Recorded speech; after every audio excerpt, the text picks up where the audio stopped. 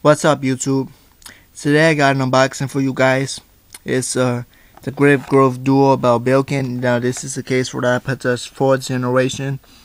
Um uh the Duo comes with two cases. As you can see here I got a white one and a black one. You could actually get these in different colors. I just decided to get these two.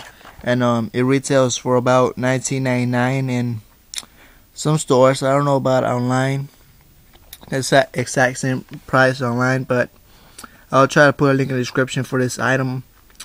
Uh, or if not, I'll just put a, a, link to their website. Okay, so let's just show you guys around the box. So here's the front of the box, and here's the side.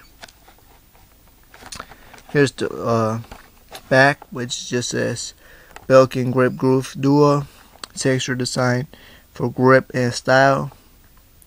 Then it says easy grip right there um, durable materials and shock absorbent.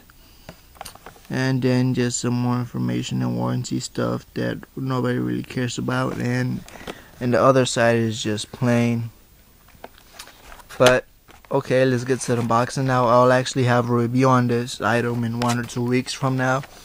So make sure to subscribe for that.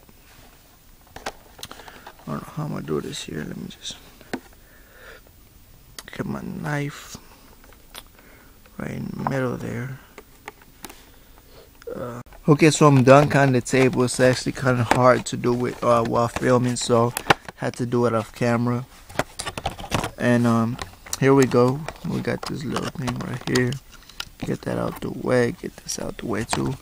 And now here's the white case, which is really nice.